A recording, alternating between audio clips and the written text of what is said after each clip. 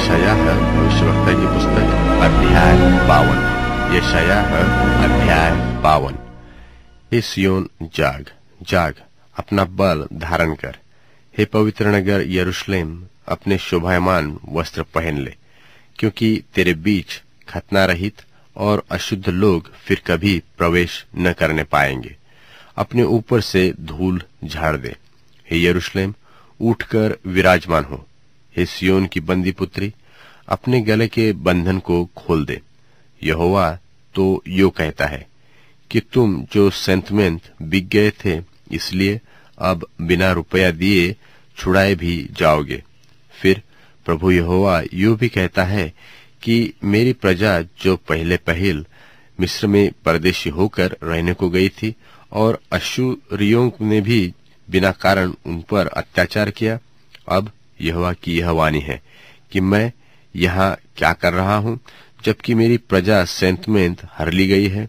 यहोवा की यह भी वाणी है कि जो उस पर प्रभुता करते हैं, उधम मचा रहे हैं और मेरे नाम की निंदा दिन भर लगातार होती रहती है। इस कारण मेरी प्रजा मेरा नाम जान लेगी।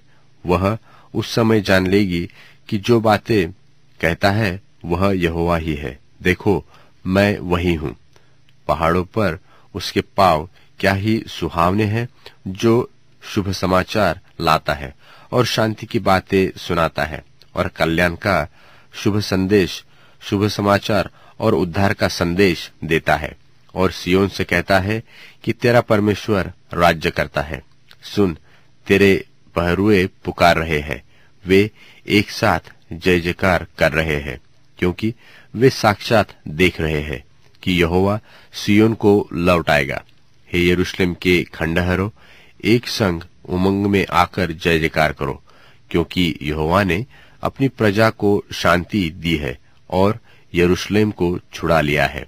यहोवा ने सारी जातियों के सामने अपनी पवित्र भुजा प्रकट की है और पृथ्वी के दूर दूर के सब लोग हमारे परमेश्वर का किया हुआ उद्धार देख रहे हैं।